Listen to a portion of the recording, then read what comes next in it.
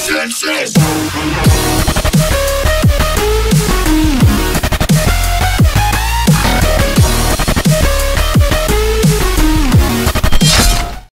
Hello guys, this is Leonidas GFX and welcome on this tutorial on how to edit this template.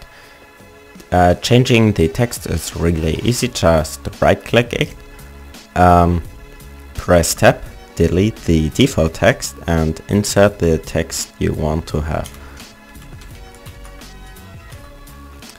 Repeat the same step with the second text layer. Now if your text is a little bit too big, right click on the circle around it, press S.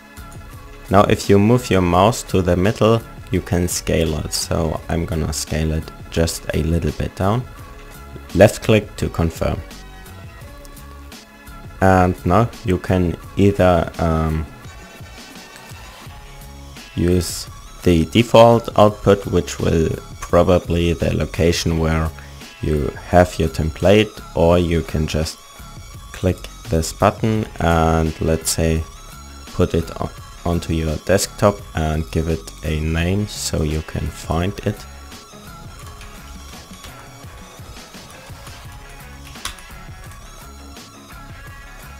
Click accept and now you can click render render animation. And now it will start rendering the animation.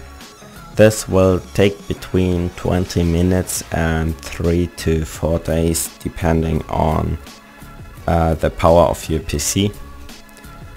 And so just be patient and wait and remember this template is licensed under CC BY which means that you have to credit me and Luxenia um, if you use this template.